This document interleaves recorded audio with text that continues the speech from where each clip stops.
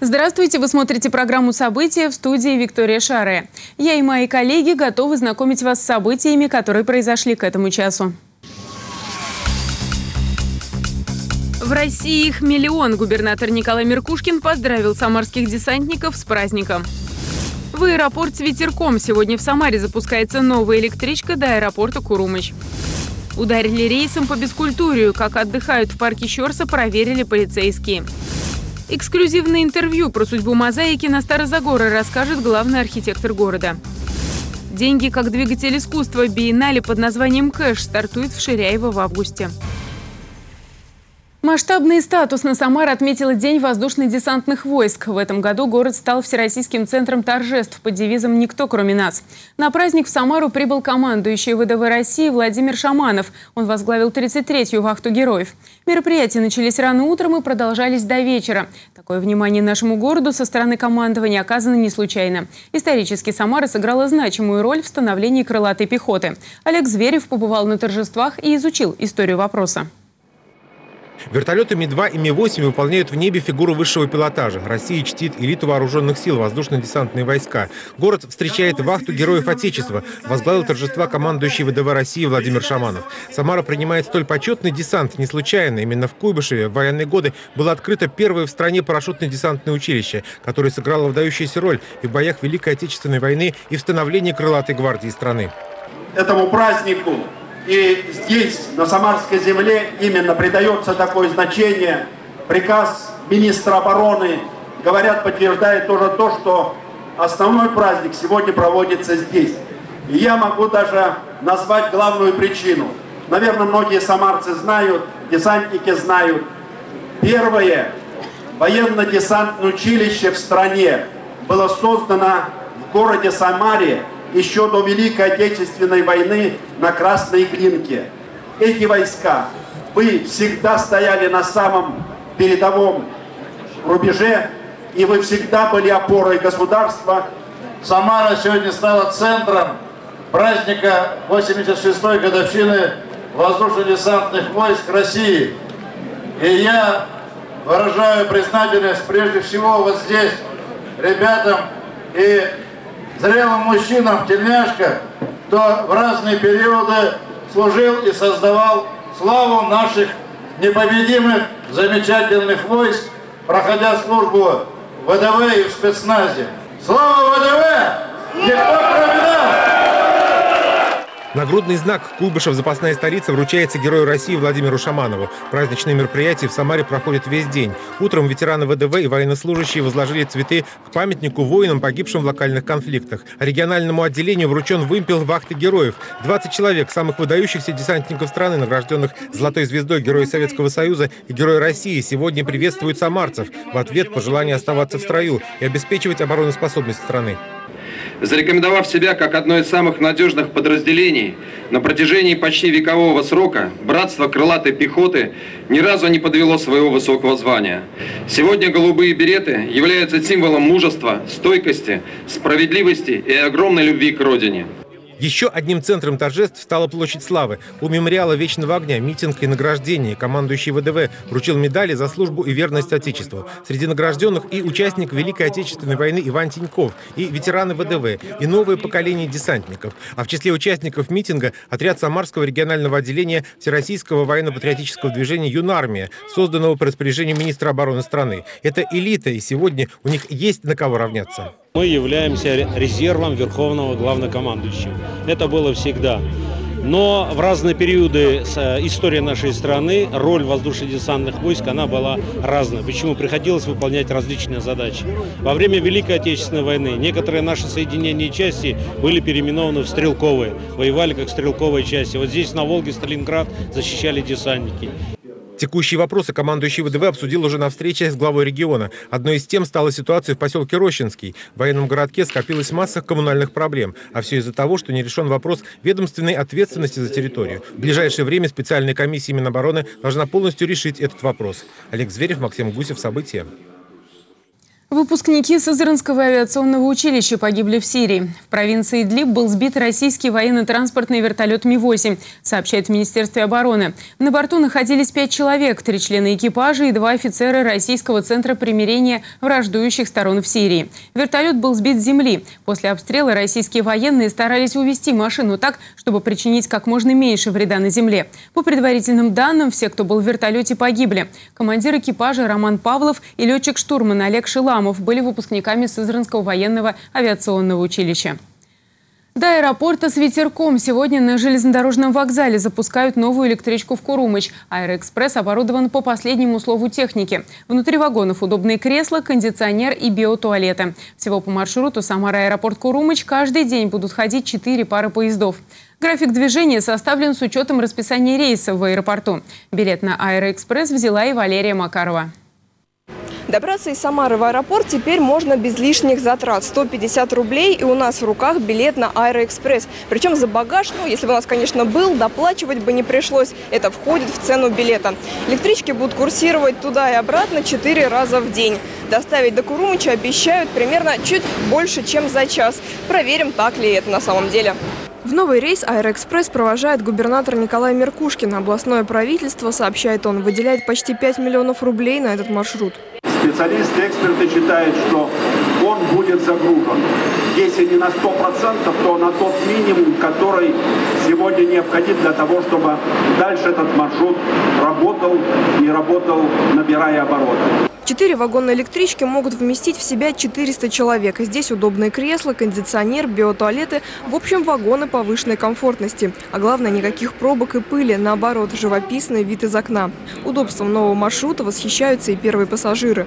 Очень мне подходит и очень нравится, потому что без пробок, без всяких без задержек. Раньше на 78-м автобусе с Поляной Барбошиной, ну там хоть и 23 рубля стоит, но, во-первых, и долго идет он. На маршруте всего четыре остановки. На станциях Стахановская, Пятилетка, Средневолжская и Ягодная. Итак, время в пути от железнодорожного вокзала до станции Курумыч час 16. И уже на выходе нас ждет автобус. Мы едем налегке, а вот пассажиры с чемоданами точно оценят удобный пандус, да и саму станцию полностью отремонтировали. На данной платформе, вы видите, были установлены теневые навесы, оборудованные лавочки, сходы, дополнительный съезд для маломобильных групп населения, поменяли вывески, соответственно, информационные стенды размещены. Ну, то есть комплекс мероприятий. Расписание Аэроэкспресса составляли с умом. Учтено время прибытия и отправления самолетов. Так пассажиры четырехчасовой электрички успевают на 9 рейсов. Ждать придется не больше часа.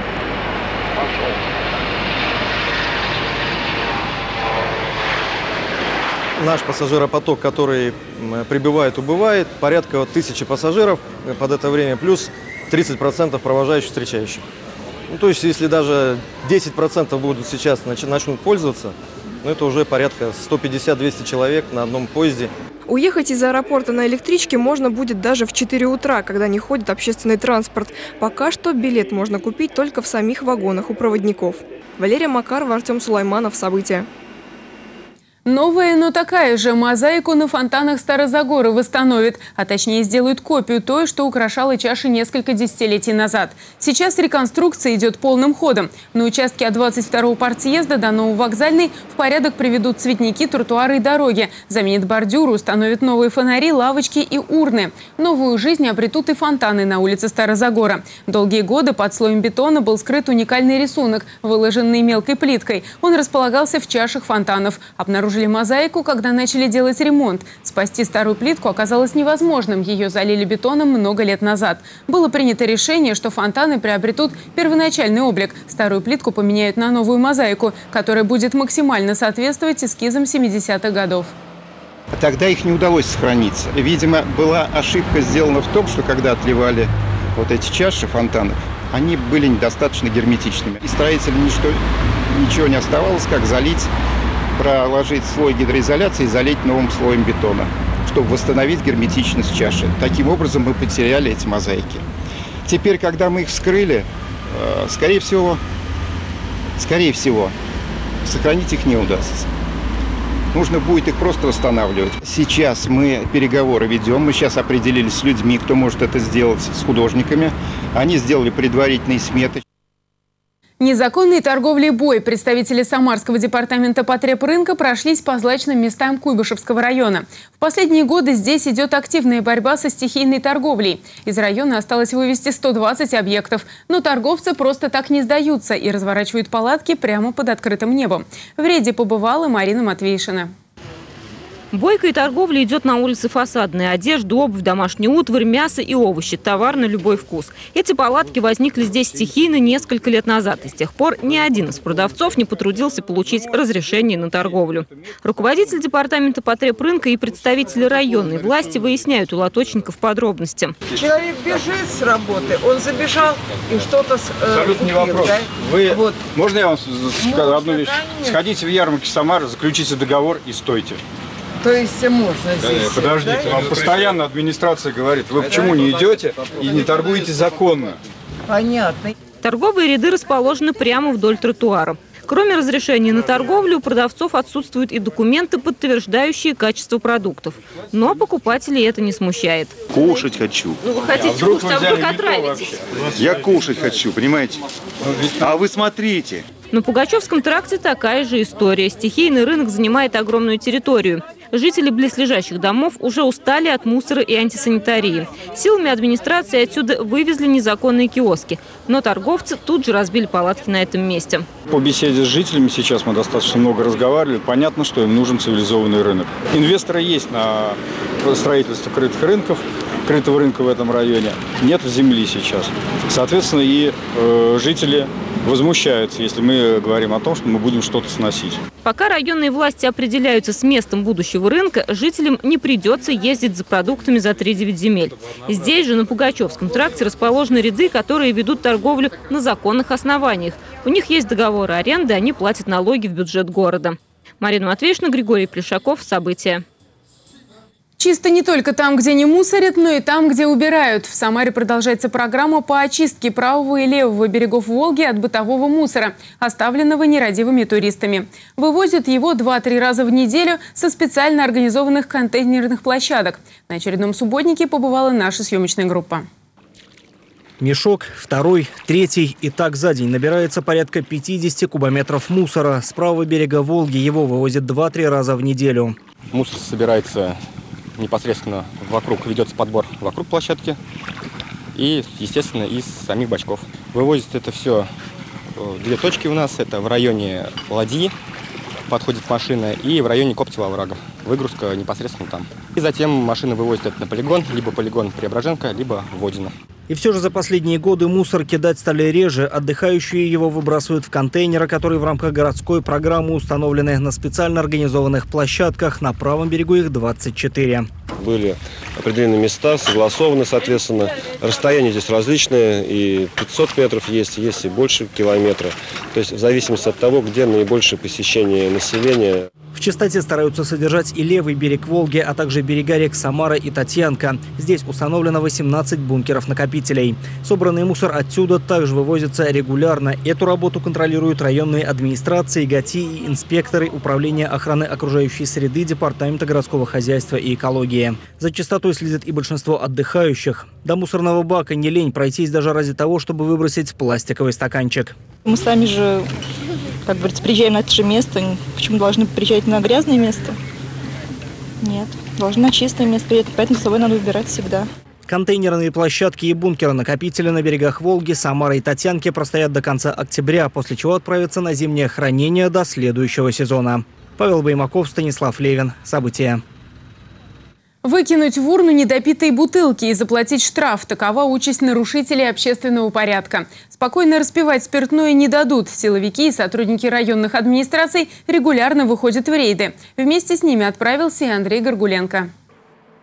Раньше парк имени Щерса сложно было назвать местом культуры и отдыха. Жители соседних домов выходить на прогулки по вечерам не решались. Это было небезопасно. Но в последнее время патрули сотрудников полиции и добровольцев народной дружины ситуацию значительно улучшили. Парк неплохая обстановка. По крайней мере, она стала лучше, чем она была. Гораздо стала чище, спокойнее. То есть уже нет таких вот хулиганств, которые были когда-то раньше. В Самаре администрации регулярно проводятся профилактические рейды в тех частях города, которые ранее вызывали беспокойство у горожан. Курить и употреблять алкоголь в общественных местах давно запрещено, а потому участники рейда относятся к нарушителям очень строго. Выбирайте пиво или сейчас выкидываете его при мне, или сейчас вы берете его и уходите отсюда.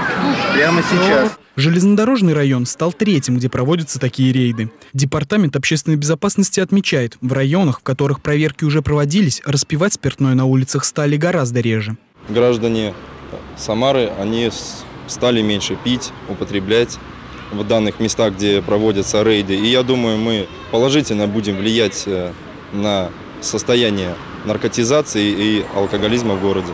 Сотрудники полиции и Департамента общественной безопасности призывают всех соблюдать порядок в общественных местах, не пить, не курить и не мешать другим отдыхающим.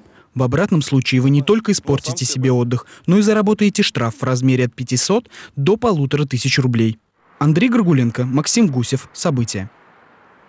Обжалует приговор. Свою невиновность в апелляционном суде пытается доказать осужденный на 8,5 лет бывший адвокат Ольга Гисич. Напомню, к лишению свободы в марте этого года Советский районный суд приговорил ее за организацию нескольких преступлений. Вымогательство крупной суммы денег, поджог автомобилей и избиение сотрудников медицинской компании ДК.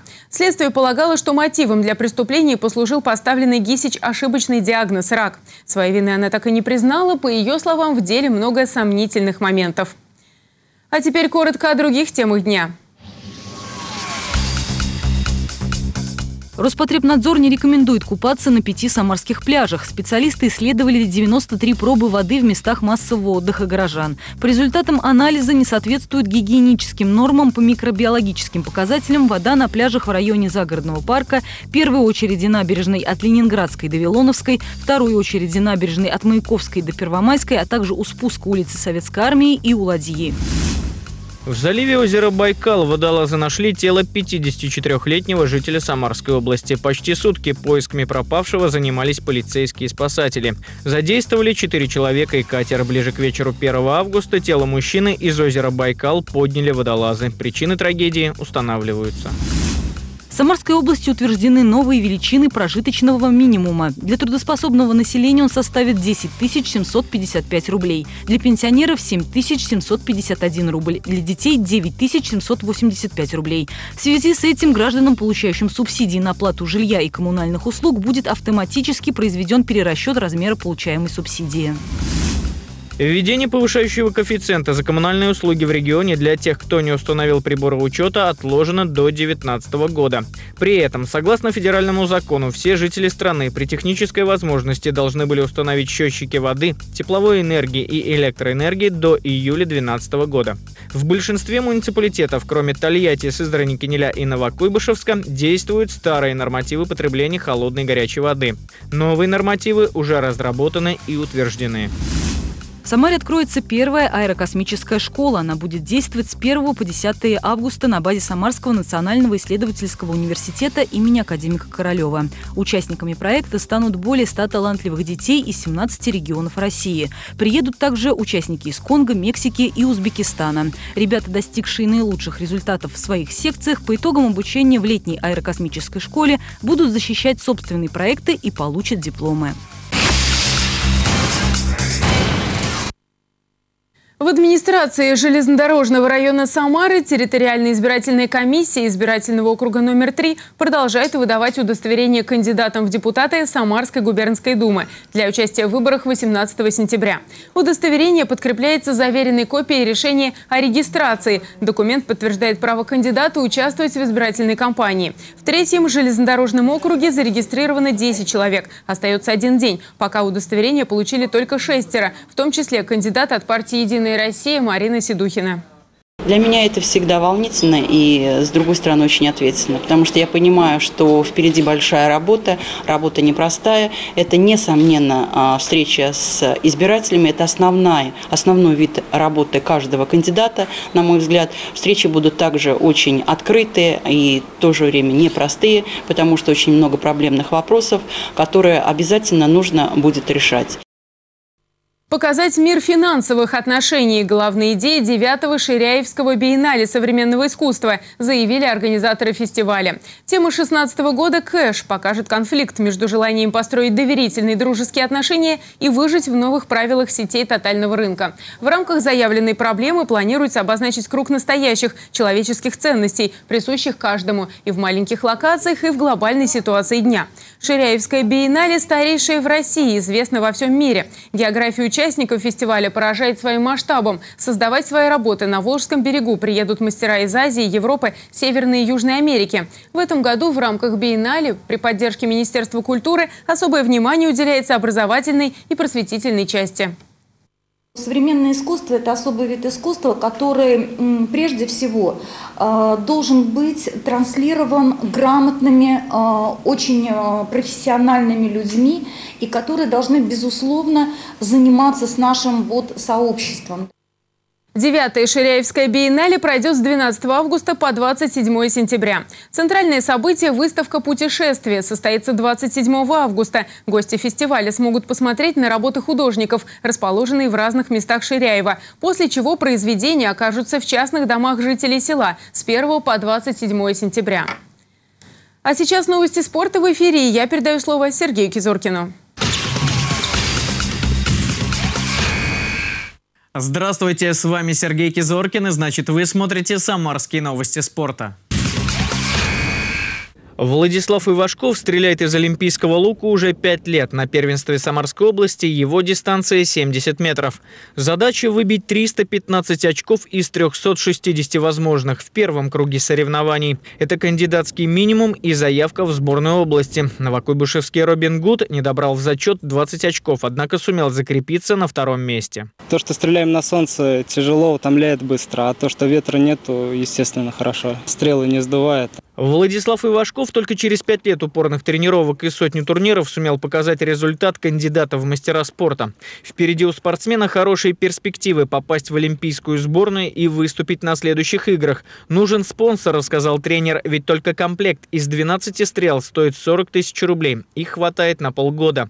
Олимпийский цикл длится 4 года. Второй фактор успеха – психология. Над этим тандем тренер-спортсмен работает ежедневно. В этом деле талант, ну, он появился и исчез. А здесь э, стрельба из лука – это особый вид спорта. Чем отличается от, допустим, игровых? Потому что они игровые, а это стрельба. То есть это попал, ты должен в себе эмоции подавить. Не попал, тем более эмоции давишь. Волнуется много. Молодой еще волнуется. То есть да, стрельба из лука давишь эмоции и работаешь. Все. Все.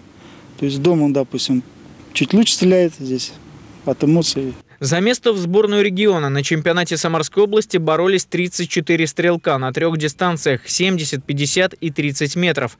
Самым популярным оказался полтинник. Здесь за медали показали мастерство Робин Гуда 20 лучников. Стреляли из олимпийского, то есть классического оружия, и блочных систем.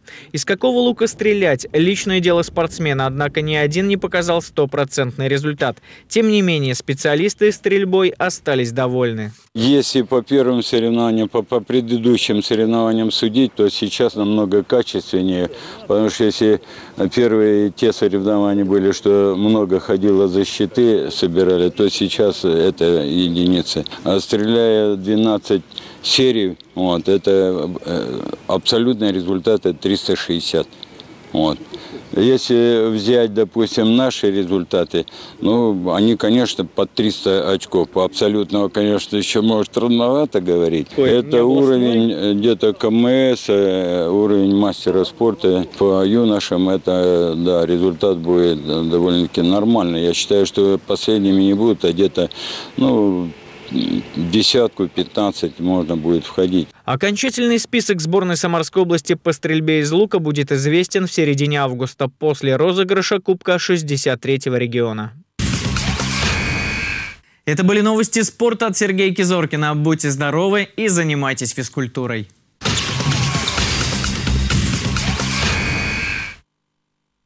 На этом наш выпуск завершен. Читайте нас в Твиттере, смотрите на экранах своих смартфонов и планшетов на базе Android и iOS. Всего вам доброго и удачи! Yeah.